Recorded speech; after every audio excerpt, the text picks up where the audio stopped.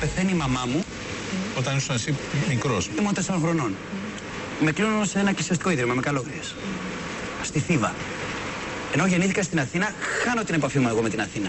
Χάνεις όλη την επαφή σου με όλη την οικογένεια. Και με την οικογένεια. Είσαι πάνω στο, στο Ναι, δεν ίδιο. γνωρίζω ότι έχω άλλους δύο, φυσιολογικούς, ε, δύο φυσιολογικά αδέρφια. Την αδερφή μου, δηλαδή την Πόπη και τον, ε, και τον Νίκο. Και στο ίδρυμα που ερχόταν στο εκκλησιαστικό ίδρυμα στο ορφανοτροφείο, μπήκα μωρό, ήταν άλλα παιδιά μέσα και μέχρι να μεγαλώσω εγώ τα άλλα παιδιά δραπετεύανε. Εγώ είχα μια πορεία, λέω πού δραπετεύουν, πού, πού πάνε, λέω ρε γαμό το, λέει αυτή. Εσύ γιατί δεν δραπέτευε. Ε, δε- δε- δεν ήξερα γιατί, δεν, δεν καταλαβαίνα γιατί. Έλεγα, πού να φύγω, ωραία, να πάω πού. Σε έβλεπες να φεύγουν, δεν τους βοήθαγες στι αλλά δεν. Ναι. Και τώρα που γράφω και το βιβλίο μου, ε, μια δρα... ε, όταν υπογράφω στο πρωινό καφέ, παίζω στην παράσταση και κάτι νιώθω από κάτω. Και του λέω του κόκλα κάτι νιώθω σήμερα. Ρε, γαμώ». του λέω δεν είμαι. Κάτι νιώθω καλό. Και έχει έρθει ένα παιδί από το ίδρυμα, ο οποίος τον έχω βοηθήσει να δραπετεύσει. Μου κάνεις Θυμάμαι πλάκα. πώς έφυγε, θυμάμαι ποια υλικά, θυμάμαι που ανοίγουν οι καλόγριες στις πόρτες.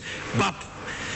Εγώ πλένω τα δόντια μου και πηγαίνει έτσι στο χέρι μου, γιατί ετοιμάζομαι να φάμε ξύλο, γιατί τρώγαμε πάρα πολύ ξύλο. Δεν Ήμουν πέφτει ξύλο. αριστερόχειρας. Δεν πέφτει ξύλο από τις καλόγριες. Πολύ.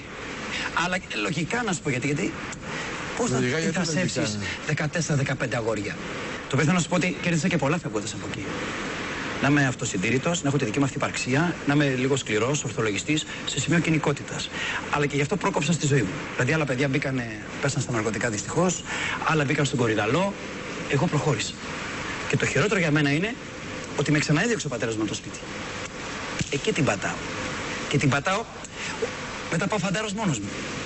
Όπως και για φέτος είναι το 2013, λέω παιδιά ότι είναι, είναι η πιο ευτυχισμένη χρονιά της ζωής μου. Έλα. Εκτός δημιουργικά από το θέατρο και το σινεμά, είναι ότι ήρθε ο πατέρας μου για πρώτη φορά στο θέατρο να με δει. Έλα, ρε φιλέ. 90 χρονών πια, μου ζήτησε συγγνώμη, η διερμηνέα, τώρα που τον τρέχω στα νοσοκομεία, μου λέει πριν πεθάνει, θέλω να σου ζητήσει συγγνώμη.